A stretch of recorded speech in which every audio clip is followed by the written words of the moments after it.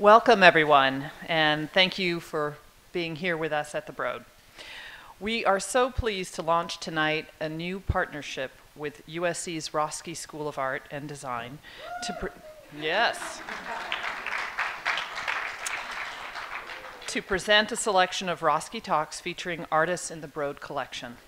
The collaboration will be inaugurated in a few short minutes by UCLA's Steven Nelson and artist Julie Mehretu. Julie is one of the most exciting painters working today. I first saw her work in person over 15 years ago in pre 9 11 New York when she was showing at a small gallery in Harlem, which, if memory serves, was located around the corner from a pol- live poultry shop, I think. Uh, her canvases were colorful, geometric, full of movement, equal parts graceful and forceful, and equal parts painting and drawing. Today, as director of the Broad Museum, it's an honor to say that there are three major works by Julie in the collection, which together trace a remarkable evolution in her recent work, initiated by events centered on Arab Spring. Her epic painting, Cairo, which hopefully you'll see at some point later on the screen, uh, referencing that ancient city's Tahrir Square, whirling with the parallel hopes and dangers of that time, took a central place in our galleries during our first year as a museum. I witnessed every day how Cairo compelled people to take in its remarkable pictorial sweep and then get up close to understand the many webs of intricate marks. Its impact on our visitors was, was absolutely clear. To introduce both Steven Nelson and Julie in more depth, I welcome Amelia Jones, Robert A. Day Professor in Art and Design and Vice Dean of Critical Studies at the Roski School of Art and Design. Thank you.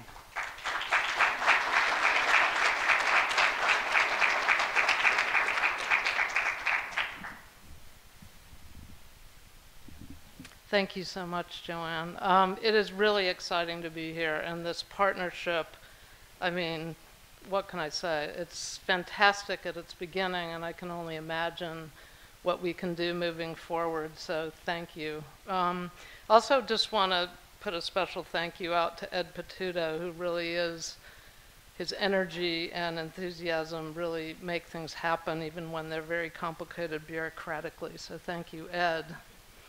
Um, so, yeah, I wanted to welcome, of course, Julie Mehretu and Steven Nelson, and I'm just going to give very traditional introductions, very brief, because I know you're really here to, to hear them. Uh, Julie Mer- Mehretu was born 1970 in Addis Ababa, Ethiopia, and moved to the U.S. in 1977 uh, to Michigan, where her father was a professor. She studied in Dakar, also in Michigan, and received an MFA from Rhode Island School of Design in Providence in 1997. Um, needless to say, she's achieved many honors, including a MacArthur Fellowship, the Berlin Prize, uh, many residencies that have nurtured her work and created these extraordinarily dynamic and visual st- visually studying, stunning works that have been collected around the world, including, of course, at the Broad. So we're very fortunate to have these, uh, some of the best examples here. Um, Steven Nelson is professor of African and African American art and director of the UCLA Center for African Studies. Um, his book, From Cameroon to Paris, Mousgoum Architecture in and Out of Africa, 2007, has won multiple awards. Uh, he's published widely in journals and spoken around the world. And uh, I'm most excited about his two new books, one of which, Structural Adjustment, Mapping Geography, and the Visual Cultures of Blackness, I know has a section on Julie's work. So um, with that, uh, I leave you to it.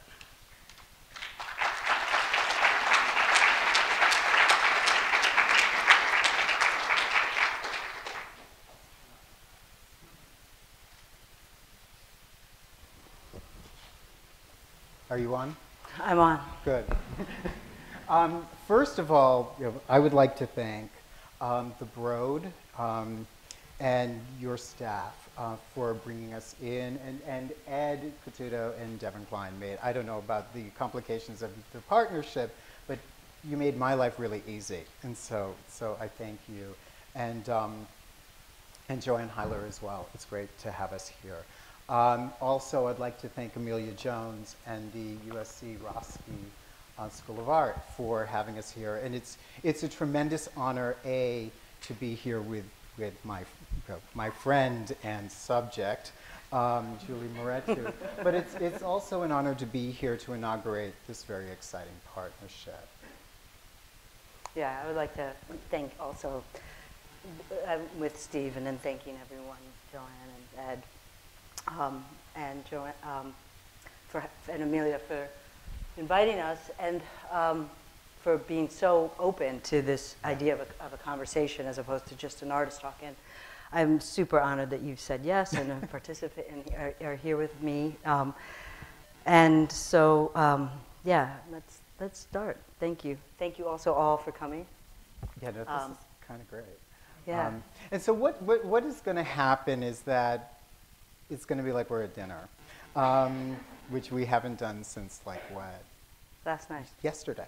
And, um, and, um, and so, you know, and what you'll see above are, are, are Julie's images interspersed with things that are, that are important, either for the work itself or, or for her thinking.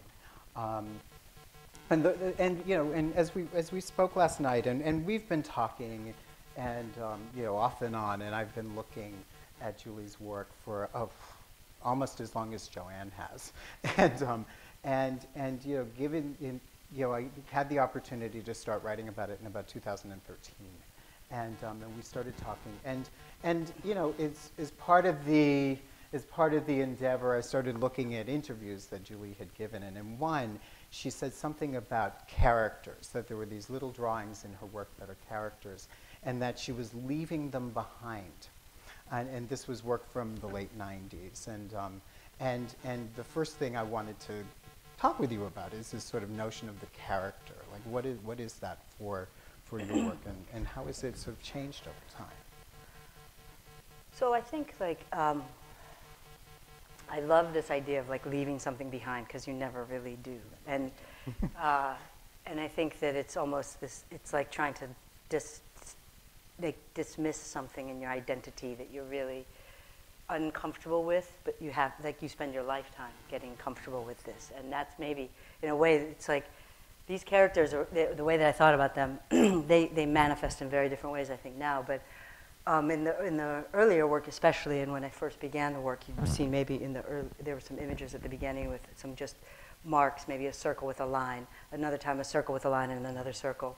They were very glyph-like little marks, and I'd been doing big gestural marks before that, and then in my studio to try and make sense of what I was doing when I was in graduate school, I started to take apart the drawings and do the marks singularly, one at a time, and then see how those singular marks, when they were drawn very small, so they didn't have a gesture, but they became more like a mark notation of a mark, how that be, how they would act.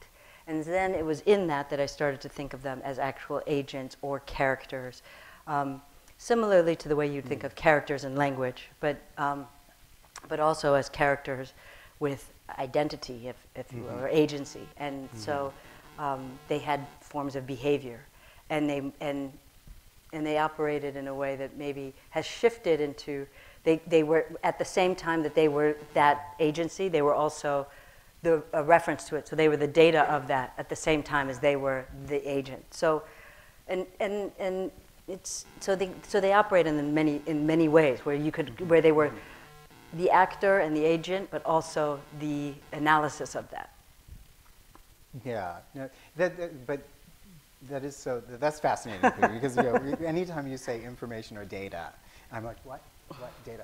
Um, you know, especially in our you know, current present of visualization, we visualize, we make, we, we, we engage information, we amass it, we invoke it, we use it for whatever purposes we use it for. Um, but what, what becomes so interesting is that you know, this sort of leaving, um, is, is, not, is not so much that, that they go away, but you start, mess, you start screwing around with them.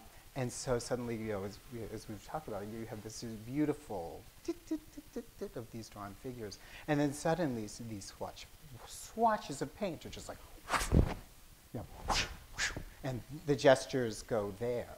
Yeah. Right? And you have this sort of layering happening. And And, and, and either the, the, the paint like knocks out the characters or the characters or the paint is that like the gesture is a much, much bigger character that you're seeing in a different space. And so you're seeing these two spatial realities at the same time. But, um, but I think like we're going to this idea of data again, just as a visualization and this idea. Um, I think like metaphorically, like the way that, especially as a younger artist, I was really interested in trying to figure out what I was doing or try to understand what I was doing and make sense of it and give language to it. And so I would try to apply these, this, these rules, like this kind of, um, th- these forms of trying to, trying to put statistics or put, to put like, if, like try to find a Nate Silver model to apply Right, to the marks or what I was Right. doing in the studio, and that all of every every movement, everything you're doing has some has some. You can try to make try try to break that down. I think like what what I mean by having mm-hmm. left those or having moved beyond that is, I'm much more comfortable now working in a way where I, I'm much more comfortable working with, with a blindfold, if you will, or w mm-hmm. like somehow trusting another sense. And I think that this is like, it, it was, it, it was, it's actually instructive because what I did when I was a stu- when I was a student and just negotiating this new work was actually working from that other sense. When let's call it intuition, or and, and I really think of that as a sense that it, that is that we don't understand in the same way um, creatively um, or rationally that we do understand vision or smell or and so like but but to really like that that that that, that was the, gui- the guiding principle the guiding place in the work. And from that it was actually me tr- me making sense of that in this other apparatus. So in the other project of trying to put um, build a model to to to, to somehow synthesize that information. Right. so it's like, I think now it's much more like when I say that those, I feel like tho- that that that that imp- the impulse that, and where the work is coming from is interacting and responding from to the world and to me and trying to make sense of those things from the same place, but without the need to at the same time uh, break it down or make sense of it and make it legible or or readable or something that can be kind of taken apart in, in that in that way. And I think that there's some and there's something really potent in that, like in the freedom of not trying to articulate or, or make sense of something. Even though I think Yeah, those earlier yeah. drawings you ne- didn't necessarily under you did under, but you didn't necessarily couldn't read the maps or the charts. No, but we tried, and so and that's the thing. I mean, we, we try, and you know, I, I, I try to make sense, right, out of the characters, and you know, and, I- and I thought a weather map. That's that's how I can frame this, and um, and yet the moment that I would get there, or thought, you know, the moment that I thought I got there, you'd take it away from me. You know, it, it suddenly it wouldn't just, you know, I'd look again and it makes no sense. And there's this, and, and, and you know, there's this kind of contradiction Yeah. right, in the work that, that, you know, makes us really uncomfortable because you don't try to resolve it. And Yeah. we have to figure out our way in it. That's also like I think um, place that I'm making from, Yeah. and the contradiction of being a painter and an artist from the United States, living in the 21st century, um, and participating in uh, an economy and a world of culture and art where um, it is participating in a system of exchange and production that is beyond um, what most people are doing for in a uh, in a, in a, in a sense of just daily living in the, in the, in the- uh, globally. So and and I think that that's a contradiction that we all have as American citizens, whatever you are, Yeah. whoever you are, Yeah. and whatever you do. But part and and and so this place of um, I think like making and finding in terms of social that that contradiction, kind of accepting that. That's part of.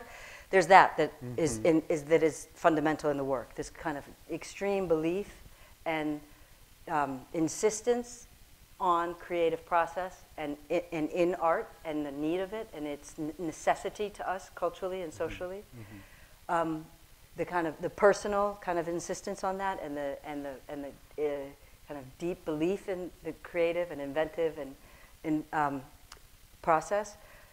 And so, th- so that belief in painting, really, and like, and the and and the need for painting and the kind of insistence on it, but at the same time, this kind of realization that painting can only do so much in the world, but that that's fine.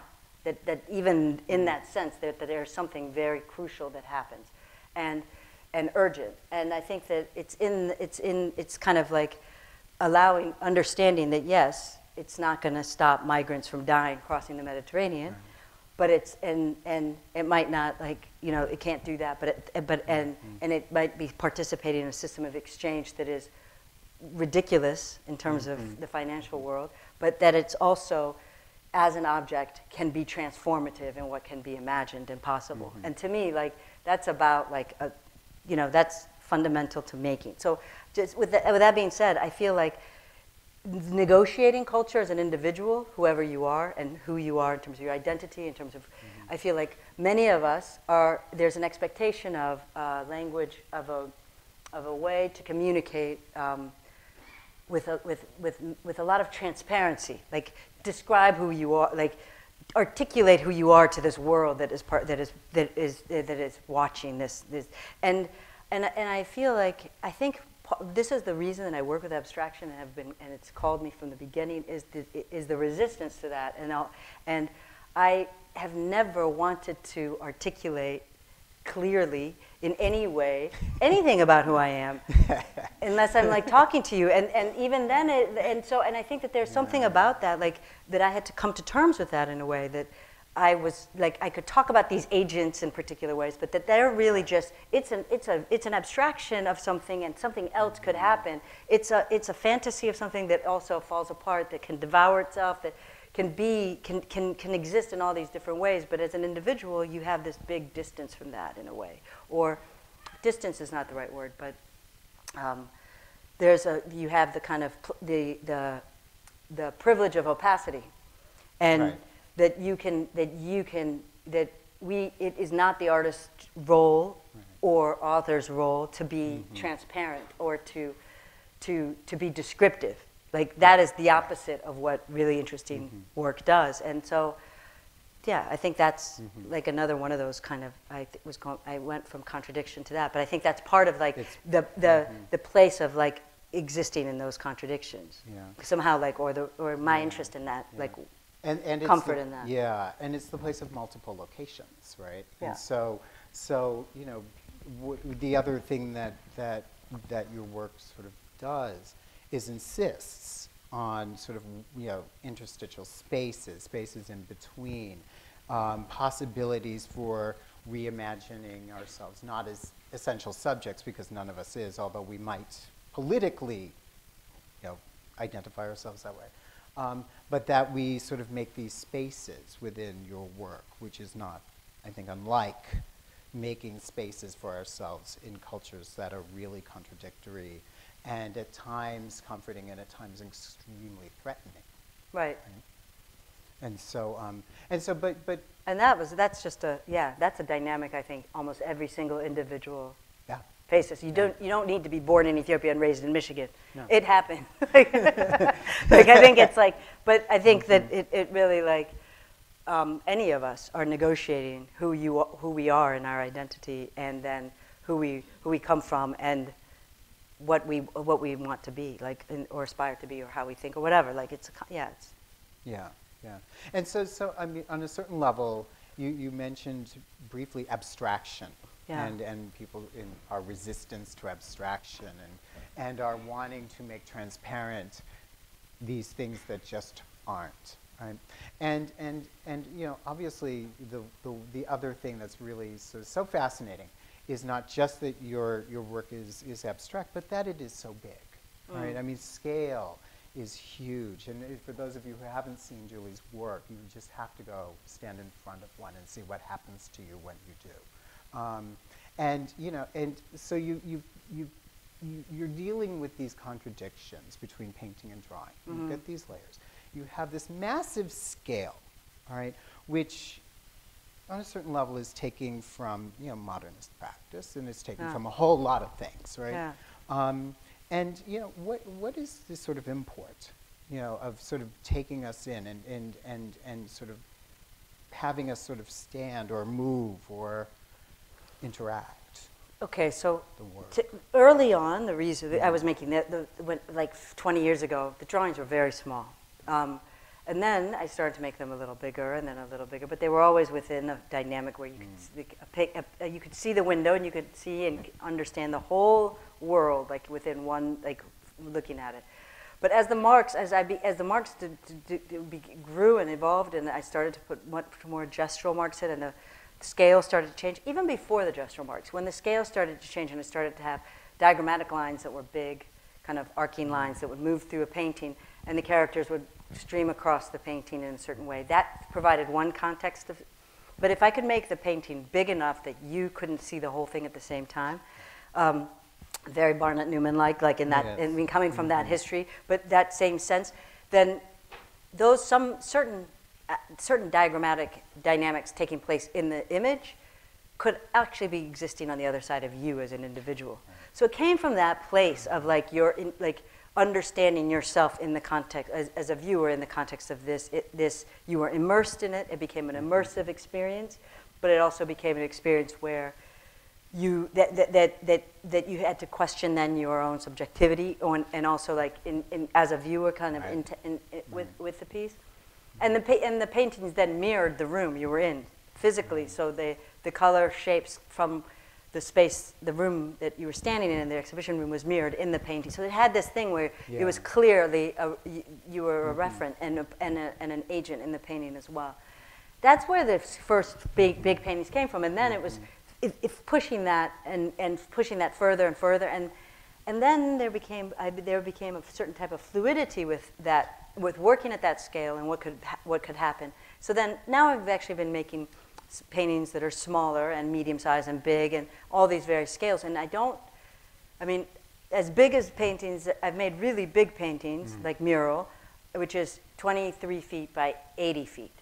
And then I've made paintings that are, you know, really small, mm. like one foot by two, you know, like v- small paint. I mean, ha- like a piece of, and and the small painting is not a scaled down version of this, and it's also not a, it's not also just a, it's not just a detail of one of the big paintings. Like, and they exist very, like I think of them differently. Like, and how do they? And I find that difficult. Like, I find I found recently that I.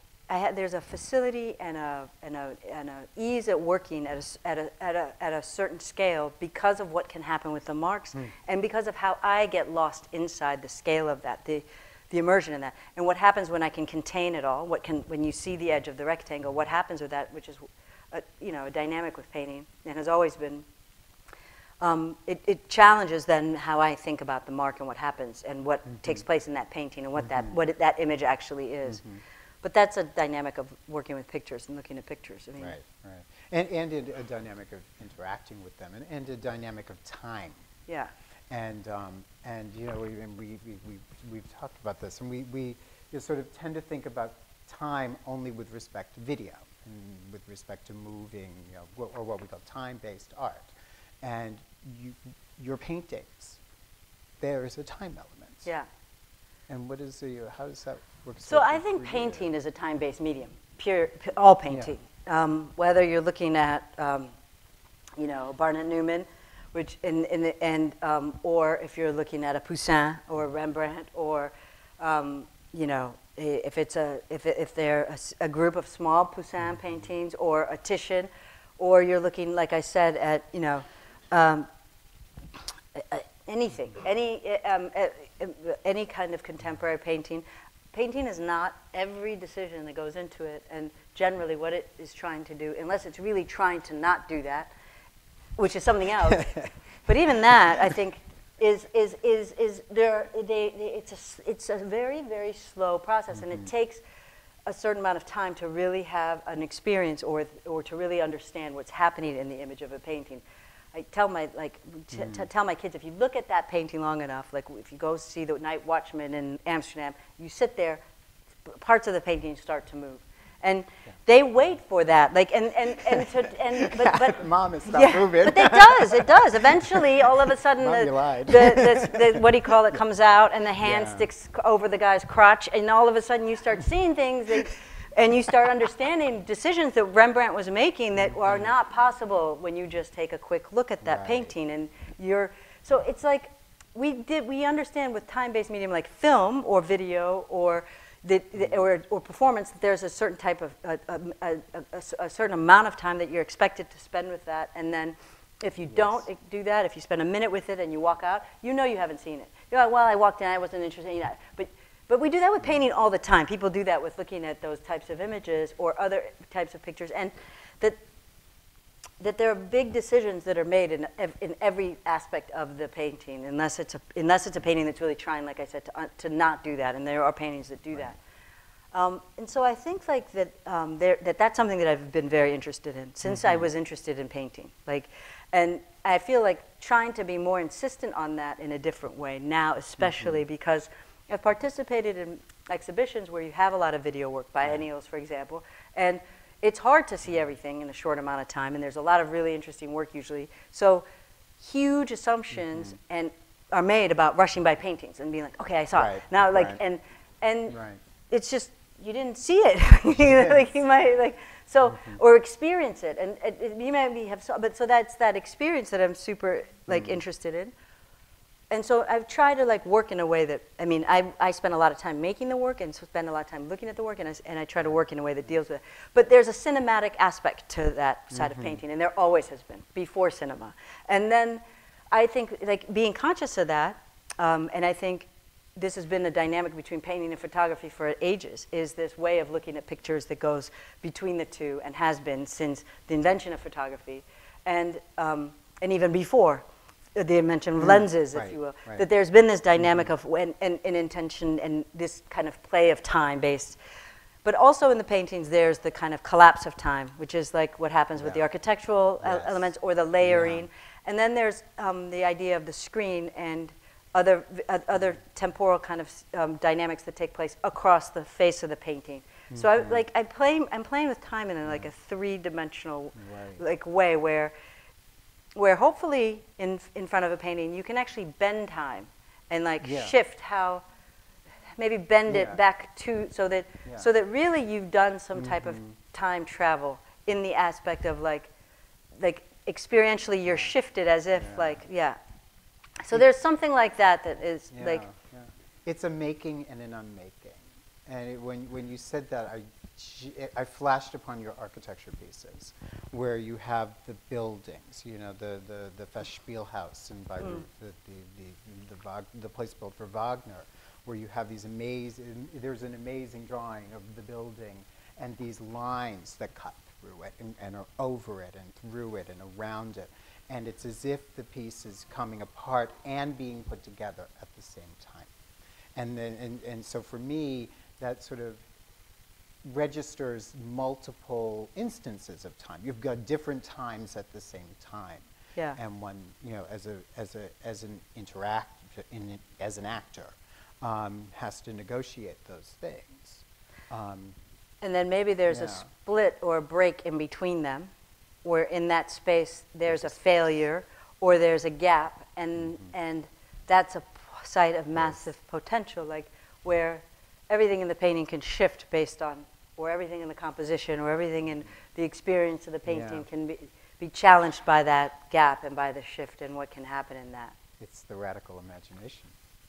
yeah i mean i like I, yeah I, I I, yeah, I mean, that's something to talk about. like, well, we were talking about this last night um, about like imagination and like the need of that in contemporary in, in making and um, that and not just in making but in political action life, in yeah. life and and but really in terms of creative practice like how um, how you have to uh, uh, uh, you have to kind of imagine the absolute impossible, but it's really not like. Last night I was listening to. I've been invited to go see these caves, and I and they're at the Getty right now. The and and I was listening to this talk between um, um, on YouTube with Peter Sellars and um, what's his name, Mr. Thurman, art historian, Buddhist philosopher, art historian, Buddhist. Say it. Robert Thurman, thank you. And this really, I don't know if you heard it, but it was this really great um, talk on YouTube. And if you, if you haven't listened to it and you feel like it, go listen to it because it's a super interesting just conversation about Buddhism by itself, but about these caves. Mm-hmm. And he's talking about, and when he's talking about Buddhism, he's talking about Buddha says, and, and it, for, if I get it wrong, please excuse me, but something like Buddha says, the impossible is, is the, the impossible, you have, to, you have to kind of invent the impossible. And it like struck me because this is like an ancient, ancient idea, but he says, but it's actually completely possible. Or, you know, the, impossible, the idea of the impossible is the reality, is in, in reality, it, it, there's a, there's that, there is that possibility. But that contradiction, that kind of the invention of that, and the, the desire of the, in your, like how, how can we activate and, and, and, and insist on the kind of it feels in this kind of moment and in these moments that there's so many actions that have existed in the past and that have repeat, repeating themselves. And in a moment like this in the United States or globally right now, you see the rise of kind of intense nationalism. You see actors like Donald Trump in this country and the, and the, and the gesture behind that. And you see the kind of like neoliberal, eh, massive economic dynamics taking place in the globe. And it feels like individual agency has very little room, or it feels like individual agency builds in collective effort that is a repeat action. Like it's not necessarily, it doesn't necessarily invent the new. Right. But what does that mean, even to invent the new? And that, that how do we imagine what that possibly is? And you can't invent it out of absolutely nothing. It comes out of like this other creative process that comes from all these bits and parts and these pasts and the detritus and all these kind of broken t- dynamics of and, and also some of the really working dynamics of what exists. So how do we like invent something that just shifts the degrees two degrees to the left and maybe there's a there's a way? And he talked also in this talk last night about buddha the one moment buddha put his toe down and that's in this story like all of a sudden for a, for a second everyone saw their role uh, and what, what they could be in their full potential but then it just disappeared and everyone went back to being like grumpy and upset with each other and forgetting about like the, the happiness they but like that one little moment that glimpse was right there yeah like that was my day. yeah Yeah. and he ta- yeah i mean he even talks about it in terms of the election and Yeah. you know the grumpiness and the kind of like the the the, the dy- anyway the, the, the, the our existence and kind of like things aren't working anyway so fucking just to vote vote for the third party. Like mm-hmm. you don't want to choose well that's like crazy in this moment. So this like that that that that, that you know enlightenment would let you know you have to vote for hillary clinton. Like like because she is there between Yeah, the level she is there. of painting it's and about, drawing. but it's about like this, uh, this, but like what this. The, no, I'm bringing it back to this other possibility, yeah. like with, where, where within, like, so then I was thinking about um, language and painting, Yeah. and I was thinking about this today about like how to really talk about inventing and mimicking and finding. Uh, um, the, the marks and how they've evolved in the painting and how there are these quotations of other ver- visual language. Like, I'm not painting without the history of painting behind me, and not one mark I, that I make is a mark that hasn't been made before by many, many other painters. And the, the kind of putting together of different painters' marks. So there's times where you're paint, where I'm working, and I really mm-hmm. feel like this is all of a sudden it looks like Augustan arm, or and then all of a mm-hmm. sudden you see this other mark that can feel like a Twombly like gesture, or mm-hmm. A, an, another element that's like mimics a, hand, a Hammons handprint that goes back to a prehistoric handprint that then folds into you know there's nothing that you're making that doesn't that I believe that I'm making that doesn't have this. But I was trying to think today when thinking about this talk like how to um, talk about that. And I was thinking about neologisms. Is that how you say it? Yeah. Neolo- and that and that in language you have that possibility and it's almost like that visually like being able to invent new words and new uh, ideas or new theories that are really that are coming from like um, coming from uh, dissatisfaction and with that, trying to invent a new way to kind of approach that. So, in a way, that's how I'm thinking about these, these the mark making and the evolution of the mark making and the evolution of painting and making pictures. It's Right. like how to take these bits to kind of Right. try and make something else that can then respond to this moment, but it's being mm-hmm. made with bits of all these moments. And some of them are really recognizable, but some of them get shifted so much that it's an invention of a different, mm. it, but it's a quotation of, it comes from all these other like And, elements. that, and that's so that, that's fascinating because you, you, you, you remark on your painting not being possible without the history of painting. Right? Yeah. I think your painting is also not possible without the history of photography. Yeah. I think your painting is also not possible without the history of architecture and, and its rendering. It's, Yeah. you, it's not possible without the blueprint Without drawing. um, without drawing. Um, and it's not possible without the tensions with those technologies Yeah. that those technologies come into play. And some of the work that we saw a couple of frames ago, you, you, they, they, they, look at painting as technology, and then suddenly you have the old four-color printing process in those little dots, the, Yeah. the magenta, the cyan, the, the, the, the white, the black, um, the yellow, um, along with, you know, sort of photographs that are lurking in the background that have somehow been distilled into spirits of. Um, and, um, and so all of these things are going on, and it's, you know, and at times it's spectacular and it's noisy. Yeah. Um, and it's, you know, so you have time, technology is coming into time, but also technology is coming. the- You, you made a, a comment last night about the marks and some of the gestures being sonic, Yeah. which just. Yeah, that I feel like. Um, so I feel like I really like am, like going back to the time-based idea or the, that time-based experience. I feel like some of the marks, the and not just the marks, but the space created in the painting. Like I think that we always experience space sonically as well. Like we hear space, we understand volume of space because of the way it sounds. Yes. If it's a dampered sound or large, and I feel like there's also like um, sound. Like I feel like the, the, the way the marks are percussive on a, on the on the mm-hmm. page, or the way the marks kind of rotate or move around. Mm-hmm. They, they, for me, there's like something that happens whether that that has a s- certain type of sound, and I feel like even if it's just layers of spray that create kind of a mm-hmm. vaporous space.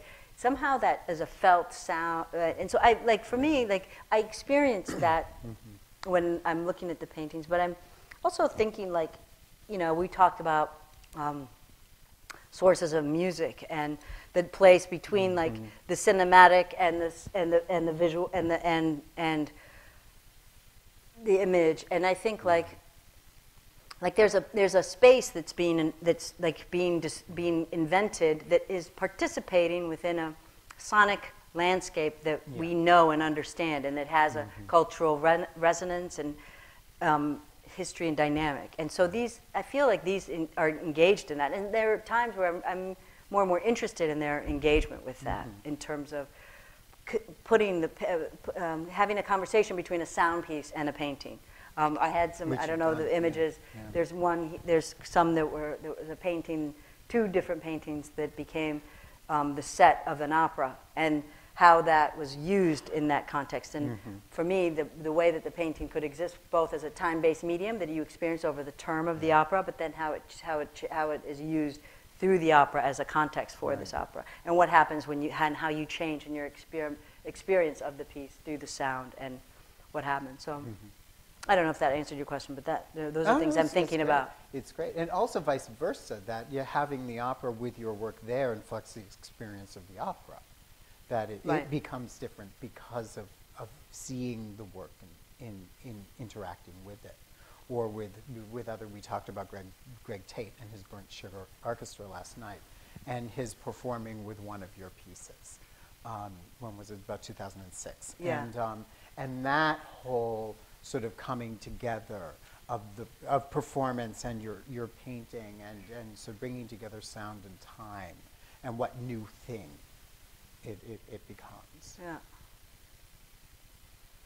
For me, what is also, what, like my experience at least with opera, that what, what something that just I think is interesting, and I saw it even putting together this slide presentation was uh, that what happens in the collaborative process is that thing they're, they're, they're intuitively um, really and I say this to all the practicing artists who are studying right now, like how, how much, um, like being able to like trust and learn from that sense, how important that is, because there are things that you, like, at least for me, my experience is that my head gets in the way and, and it messes things up. And what happens, what, like, there, there's, there's a knowledge that's so profound that can, that, that can make decisions in the work that it, it, it, took me it, like until yesterday to realize like how much working with Peter Sellars and the opera mm. the, uh, Only the Sound Remains, how much that affected and shifted the work. In fact, I think all of the new work, the color coming into the new work and how it plays in the new work, actually came from the gray paintings in the opera. So be like 2014, 2015, I was working on these really large gray paintings. They, they have one here in the collection, Invisible Sun Algorithm. Um, and and, and then for the, the last show that I just opened that's up right now at Marian Goodman Gallery in New York, it, there's color in those paintings. Right. And there's, there's, um, the color comes from blurred photographs that are embedded in the painting, but also the colors applied in, on the painting as I'm developing the paintings. And it's interesting because that came, I think now I realized in doing this, it, it, it part of the source of it, not completely, came from this experience of the gray paintings on right. the stage and the light that was being used with the paintings and the dynamic mm-hmm. with them. And um, so I'm just sharing that. I don't know. but it was interesting for me to realize uh, how much of an influence that was. Um, and how this other sense kind of was working with that mm-hmm. and shifting that. And that was coming also from the photographs. But it really also came from that experience of working with the light artist and the collaborative project right. that was that stage right. and the set. Do you want to talk about the kinds of photographs you used? Sure. So then for the show, mm-hmm. in the previous work, a lot of the architectural drawing comes from, I'll take an event, like if it was mm-hmm. Cairo, the painting that is here in the collection, um, lot, all those photographs, most of the photographs that inform that painting are from downtown Cairo, Tahrir Square, or um, and some of and some other important buildings. But generally, that was the context of most of the architectural and phenomenon in that painting. And it was the, it was, the way that I tried to project the, the drawings on the, across the painting, it was as if you were spinning around in the square, so that mm-hmm. your point of orientation was shifting from where you were by looking at. And, and, and then there are some photographs where there's like a map of the metro, mm-hmm. and in that map of the metro, there's a map of the Nile. So you see that, like, kind of, uh, uh, it becomes a, a, screen in the painting, then becomes like, mm-hmm. but in the end, there's, that's how those paintings would evolve. The architectural drawing would be come, come from this like, hundreds of photographs that were projected and traced on the painting and, and so it becomes this amalgam of this place and you somehow get a sense of this place from this metaphoric architectural drawing with the newer work instead of I, there was always in those groups of research there was always like a singular image like a, a photograph that became really important to, to me or stood out or just became like an iconic image to me. It had a singular type of presence. And those photos I was interested in these kind of um, uh, photos of the occult, the photos of the ghosts, spirit photographs of the early, early, in early photography to try and catch that, the, the, the, the, apparitions in, in time. And you have these photos where the spirit is coming out of the mouth and the bulbous kind of stuff, and they're double images and a lot of black and white. And if you blur these, these photos that were important to me in Photoshop, it almost was as if through the lights and the darks, the light of that moment would allow for the apparition or the possibility in the break, which is the, the, the, let's say the you know devastated scene of Aleppo or something, where there is this other po- the, these this light emerged from within that rubble, and I was interested in like the possibility of that. So I just was using that as a point of departure, painting that, and then that became the first layer of the new paintings. And so rather than like having all this architectural information, became reduced, distilled down to this singular image that then became blurred. So it's not recognizable. It's not as if you have an interaction with that image and that that's readable or necessary for the experience of the painting, but more that it's a point of a social ground that this painting mm-hmm. is being made from mm-hmm. somehow, and that that light participates in the language of abstraction or complicates the abstraction and the marks and what is existing with the body mm-hmm. parts on top of that as much as right. where it's coming from, the detritus that it's a part of. And so do you see it as kind of trace or like residue or? I see it as like a ve- like I see it as a very different kind of approach to this to the work. Like hmm. if the architectural language provided a metaphor for mm-hmm. like the context, like here it was it, there was a different kind of pla equalizing of what, what, not even equalizing, but a different type of presence that these images could, par- like they mm-hmm. could participate. These images then weren't about you recognizing anything having to do with Cairo or a stadium or wherever. Mm-hmm. Like place was mm-hmm. erased. It wasn't. A, it was more about what ge- the gesture and what emerged in the abstraction. so yeah, yeah. for me, it became more about what was the experience that you would have with that painting, or what was, what was coming, what would come out of the painting in my experience of making it. So it's flipping it around, like from the in, inside out, if you will. Ah, that's really interesting. Should we open up for questions? Are we planning on doing this? Um, I want to read one quote really fast. Okay, great. And I don't even know who. I don't know. I can't properly attribute this. This was I was listening to a talk that Kodwo Eshun did, Mm-hmm. um, and he starts the talk with a couple quotes, and he and, and I was lis- re-listening to it because I find him fa- I find him really uh, interesting, and I love the way he really succinctly and smartly puts things in order, Yeah. like in terms of like ha- where we are in, in our in our in our work here. But he says so, um, this this this quote that I would just want to read: "Politics is a learning process. It is about how we live with pessimism, and how you work on yourself in re- in relation to that pessimism." Um, forcing yourself to read bad news every day, and then liberating the possibilities of liberation elaborating this, um, elaborating the possibilities of liberation, demanding an invigoration and sense of determination from film. And he says it's Mark Car- Carlin or Colin from 1981. Whoever can find out who that. Does anyone Take know? out your phones. no. No, I couldn't find it. Anyway, maybe I misheard his accent, but it, it, Yeah. to me, the quote stood out mm-hmm. because, in a sense, it was about like the, he, this, these two things about pessimism and invention mm-hmm. and imagination and this and the, and kind of the possibility of the of what feel like what is what is seemingly impossible. And I don't know. That to me was like it, it says a lot Yeah. about like a context of working, and I, I, I just wanted to share that. Mm-hmm. Well, it feels like your work. Yeah, I, It it, it, like it, work. resonated with me, and I think it, in a sense it was like uh, interesting to see as a context. But That's terrific. And so with that, um, shall we, do we have time for questions? Um, yes, I see someone waving in the back.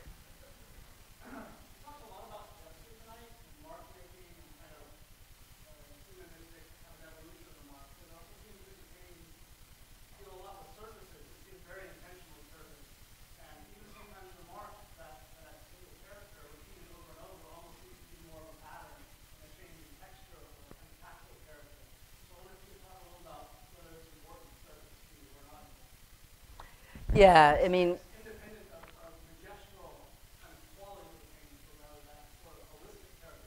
yeah, yeah. I think like the I, the earlier I was wor- earlier in my work, I was when I was pl- when I was working in the way where the mark was trying to also be an analytic thing at the same time. So a map of the mark at the same time as being the mark, or the agent, this, the, the, the mark of the agent, kind of the, the, the Cartesian at the same time as the actual action. Um, that I was using the art, like Mylar and, and uh, vellum and, and early tools of map making and, and, and architectural drawing, but cartography, those types of, those types of um, tools. to- So I started to develop surfaces that mimic that. So whether it's paper that feels like an absorbent paper, or, and so mm-hmm. a lot of the paintings, that's the, the surfaces are variations on that. Like so, they're either very transparent, somewhat repellent, not so transparent, more, but they're but they're very they tend to be very smooth and they come from that. But then they also start to mimic a screen, and so both of those.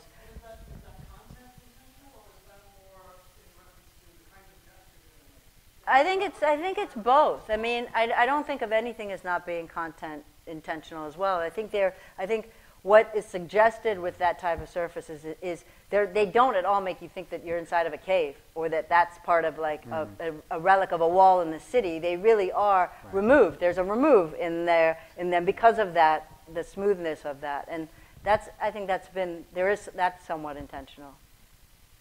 Yeah, very. I mean, it has been. It doesn't have to stay that way, but it has been. That that has been important to me. Okay.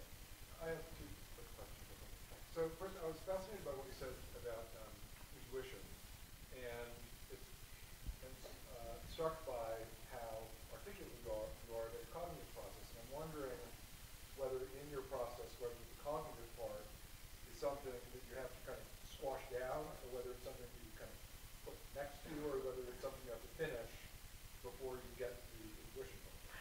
Yeah, you have to. I, for me, I.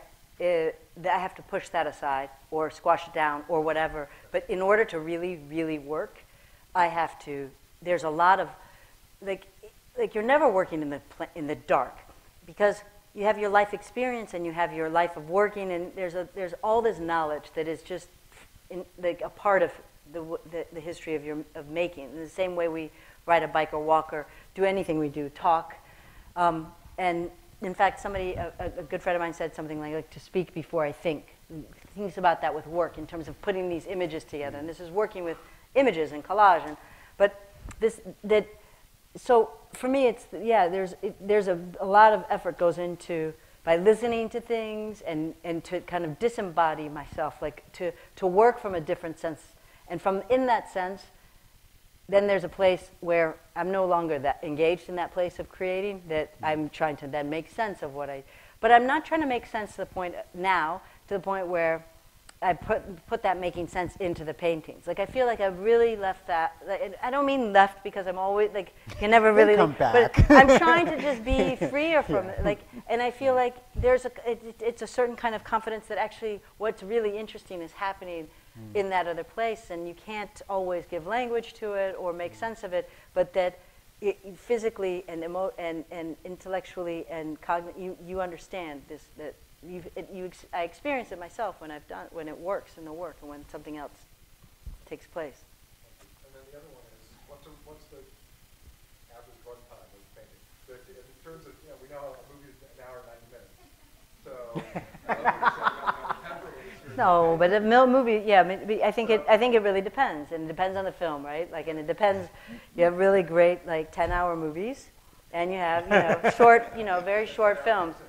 You do, I think. I mean, I know people who can sp- sp- spend a long time. I mean, who, who can spend hours, and but I think.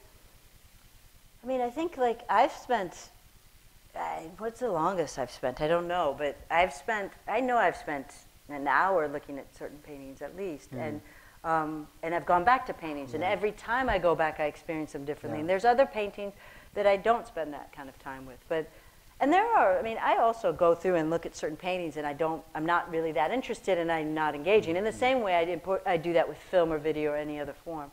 I'm not saying that you have to like you know, spend hours with everything. But I think that to mm-hmm. really experience, I mean, I also know that I haven't mm-hmm. properly, and usually when I do, even the work that I'm not interested in, spend more time with it, I leave with something else.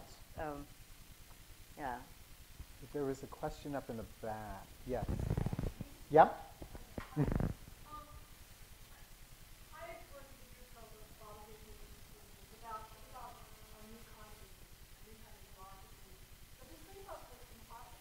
Yeah.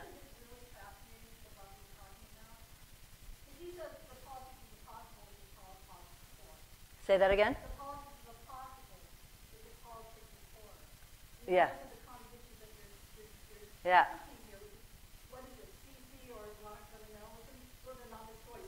Yeah, yeah.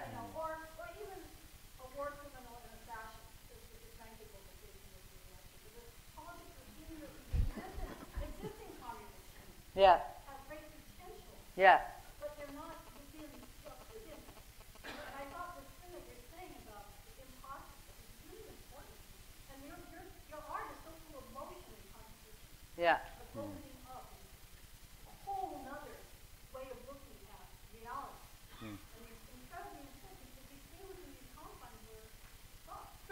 Yeah, but we can't also, we can't just devastate, right? Like, like, so, like, you can't think, hmm. just go ahead and, you know, bring, bring, let's get a fascist dictator to just wipe it all out because he's the meteor that to just crash and burn the system and from the crash and burn you. And I think that's like, like, so the question then, if you go back to Egypt is, did you need the revolution in order to like evolve a change? I, I mean, I'm not, I'm not suggesting that. I'm just ask, posing that as another question, form of the yeah. question. And where was everyone who was there when it was, when, and, and, and here too, like, okay, so right now you have, you say a war criminal and a fascist as these two choices, but at the same time you have probably the most liberal agenda on the table that we've had as part of the Democratic Party ever. So within that, what else can be pushed and demanded on top of that, and what else can be, you know? And so what I'm just saying is, there are things like where we, where and how we invent and how to imagine. I, I just think like, I, we, like we can't just kind of, I don't know, just repeat ourselves in these same cycles and these same kind of partitions. I listened to such a great radio uh, Radiolab podcast about um, it's their most recent one. Whoever listens to Radiolab, and they did one about this little town in Nebraska that basically chose to cease to exist because the two sides. It's like 36 people in this town, and half of them they couldn't agree on something and they, they, started to hate each other and then they basically somebody ran a petition we're going to have a referendum on whether or not we're going to choose to stay incorporated or become unincorporated. And unincorporated won by one vote and in the end this town which was this historic town very small town disappeared and they lost everything. They lost the snow plow, they lost the lights they lost garbage collection and everything else that comes from mm-hmm. having been in but they, they exist. They still all live there and they're like that community. But it was this super interesting kind of like, you know, and, Yeah. and, it, and, the reason I think Radiolab was interested in this is the mimicking of like what's going on on this much larger place. And there has to be another invention. It doesn't have to be that one of those. So I, but I'm, I mean, I'm, I'm with you. I, I just, my interest is like what happens if you shift the axis just a little? Like how different does everything look? Right. Probably one time. I'm having a really interesting experience on like listening to you, like seeing your work and then flipping back to these photographs. Yeah. Civilization being torn apart and collapsing. And I wonder, do you take all those photographs and just collected them? Yeah, these are mostly news photographs. News photographs. Yeah. Okay. It, it's, it's a very emotional experience. Some are- Flipping back and forth.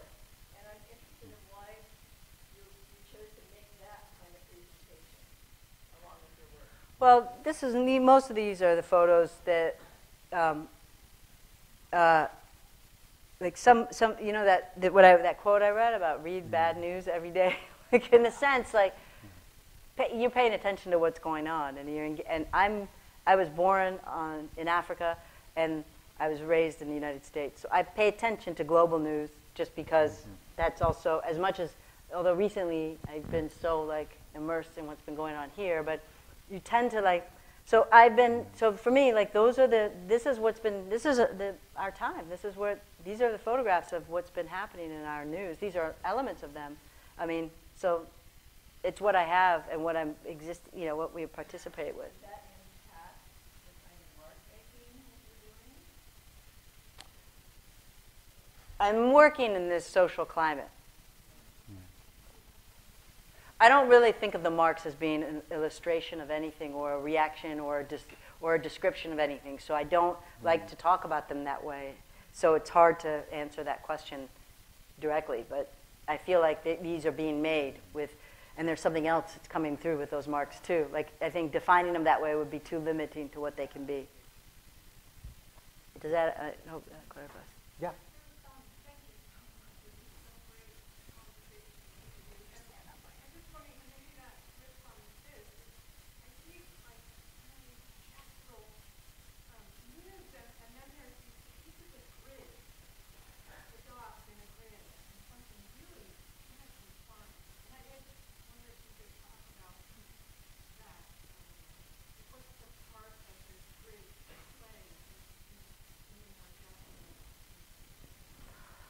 Um,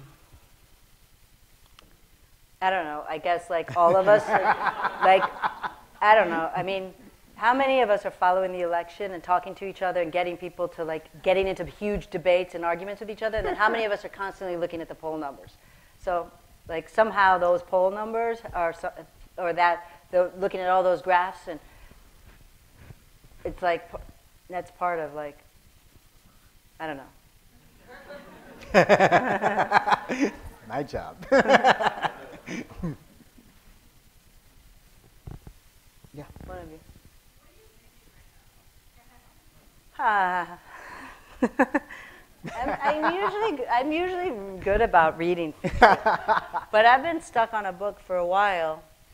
So now I have Colson Whitehead's new book, um, and it's in the hotel room, and I haven't haven't begun it.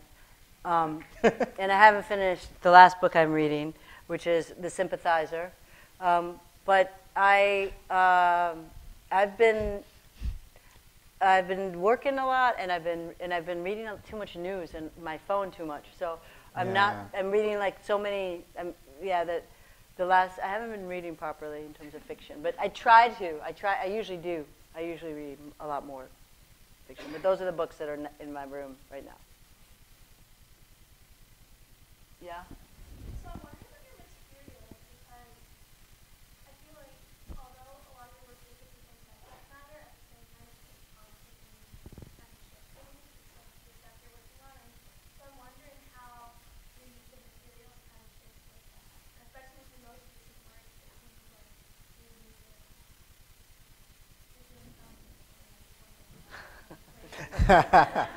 No, I mean there's more paint and more color with the paint, and then there's more paint that I'm using with um, with the work.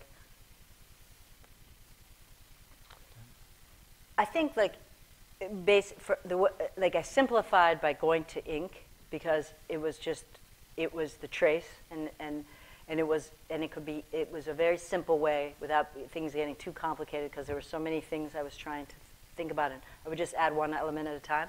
So recently this has happened, but I think a lot more could happen in terms of that with material and like working, pushing open what else can participate in the work. But really, a lot of this is just it's like acrylic and ink, and it's and it's different textures and and and and screen printing and um, stenciling and airbrush and spray paint. But it's really acrylic and ink. There's a question right there. Looking at your work, um, it feels like standing in the, the rock bush. I think that there's this meditative quality to it.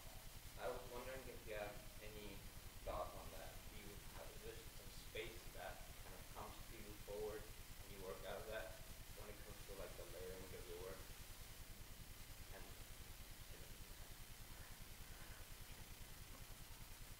like what I, I spend a lot of time looking at the painting in, it, that, that before I start working on it and, be, and an image, and it evolves very, very slowly. Um, but there's that. That's I think part of that time-based experience, and it's somewhat subjective, like how you experience a painting, whether you experience it with a tumultuous kind of dynamic, or you start to have a vertiginous kind of experience. Um, some people have actually described actually having that. There's certain paintings where the architecture moves on you, where you can have a double zoom cut dynamic, or you know the, the, the space starts to become. So I feel like, and and how you how you engage in that. I mean, that's part of like what it the the kind of excitement of making them, but also what what happens in the different type of experience you can have. But that's what I think that time-based experience kind of suggests or al- allows. do you think looking at it for a long time helps you to do that? Yeah. I think you see things differently and you start to have different types of experiences where when you look at a Bridget Riley long enough, your eyes really start to change. What happens visually, what you really see and experience is very different from when the first time you look at it. And that happens with any painting, really. And that's what I say. If you spend enough time looking at the Night Watchman, you'll actually mm-hmm. see things you did not see when you first started to look at that painting and will experience them. Even if you go in and try to see them really fast if you're running through, mm-hmm. You won't see them the same way that what, uh, what happens when your eyes adjust and the light shifts and all of a sudden you start to sculpturally see something else exist and shadows start to do different things and hands start to like move in different ways. They, that's something that happens, it's a kind of optical experience. Yeah, right here. Um, I have a comment and a question. Um, my family had a similar journey to your family from Thank you. But, um, I guess my question, the thing I think I think so much about your work is inclusion. And you guys talked about it kind of briefly. Um, but there's this tension in the architecture that you're highlighting, the architectural tension. There's this tension in the political tension. Um, you have the city protester, but you also have the architecture background and the streets and the time. And all these other layers of tension going into the issue that you never thought about. Right? I mean, the tension is, is, is like, that's like such an important, like, dynamic for me, or something like to, inve- like, um, to, to, to kind of investigate the uncomfortable, to investigate, like, the, the, the, the, the kind of, the, the, the, the what is dis- what makes what can make one distraught, or to investigate what make what what is that kind of urgent um, that urgent kind of effort to, to act. Like all that, that those contradictions, and that's why I bring up contradictions, are so important to the kind of creation of that those those that, that dynamic that you're talking about. And I feel like we're like that's like a constant negotiation, and co- those complications are why we make art and what we like you uh, what art can help with or in a way. So yeah, I mean, to me, that's a really important dynamic in the work. Good. I think we have time for one more question. Um, see in the back. Yep, yep, Um, I have a really, can you hear me fine? yep. Um, I have a really realistic question. You're, um, one of the most highest priced, um, leading female artists in the contemporary scene. So I'm just wondering, is it kind of a special way to create your work? Like, where you kind of, when, when something sells great, where were you trying to kind of like, was catering to a mainstream taste, or was it just kind of like your own thing and then, like, let everything else happen? Whistle and put your hands in your pocket. Two years gone. We were talking about this last night. Yeah, I we mean, you don't like choose to make paintings or make art to make money. Like you don't make. I mean, I I didn't, and I don't think making like really interesting work, whatever it is, like um, there there are people who can, and there are people who. I mean, but that the the reality is. I mean, I guess certain people play basketball for everything, but really, that's not why I think like you like go after something that you're doing. Like, you don't become a professor of art history because of some other. It's because it really matters to you, and like you care. get rich. Yeah, like you know, like or to participate in some economy, right? Like, and that's mm-hmm. what I was talking about early on about the contradiction of being working with painting. Okay, now mm-hmm. painting as an artwork, artwork in that sense, if it's part of the conversation, and you know, like quickly, it could not be. Like, you can make a change in your work where it's not interesting to that conversation, and who knows where that, you know, that can't be a leading dynamic in what in what's being in the decisions of creation or invention or imagination, it can't. Like to me, it doesn't. I really try to like not let that stuff come into the studio, or to, and, and they're not an interest of like how I'm making or what I'm making. And I think like there are artists who really take that on, and that's part of what their intention is is to is to challenge those dynamics and to work in with those and with. And my interest is in is in is in being a, being being able to to have a conversation in this history of painting and to be able to contribute and push and and and and and, and offer something within that. And I think that part of the contradiction of that, and I was saying this to somebody else I was talking about it being a painter, is they were talking to me about mural and would I do it? Would I do that again? And it, mural is a painting I made, which is a big commission that I made for a big bank in our country, um, and Goldman Sachs, and it was it's a complicated situation and i and i you know i basically my answer to the question is then i need to like really you're asking me do i want to be a painter because the paintings participate in that reality no matter whether i want them to or, or not want them to. I could make that decision but that's not where i'm working from. That's not what i'm i've been making this i've been making work and pushing this work and changing this work and engaged in a real conversation with the work that i'm doing and what i'm interested in doing as a painter, and that's what I'm I'm really going like engaged in. And So when I talk about the contradiction of the existence of those paintings that are dealing, you know, certain images I'm looking at are people dying at a ridiculous rate trying to cross med- the Mediterranean, like mm. to the point where that crossing is, is mimicking the transatlantic in ways mm. that even in images look similar.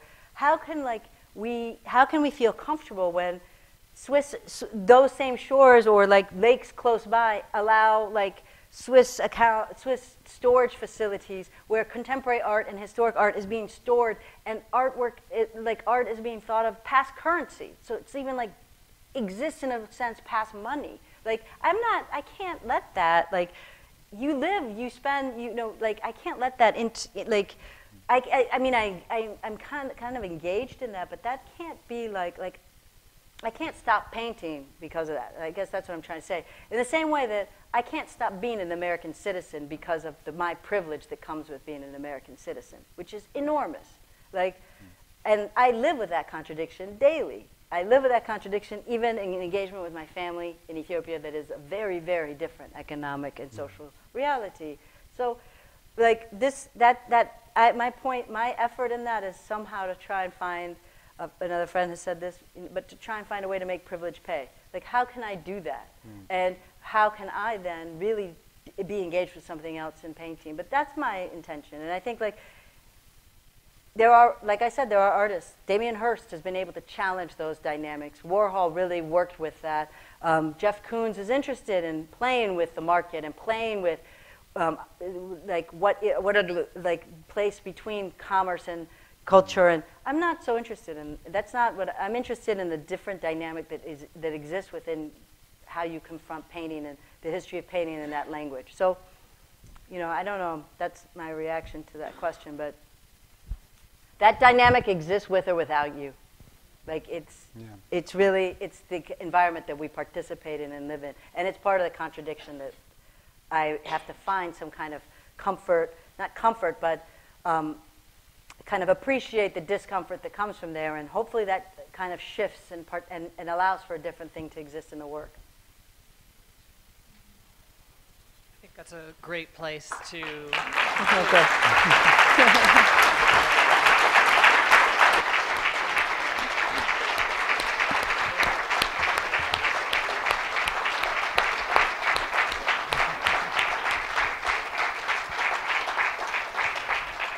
Thank you, Julie and Steven, for your thoughts and uh, that wonderful conversation. And thank you for coming. We appreciate your being here. Thank you. Good night.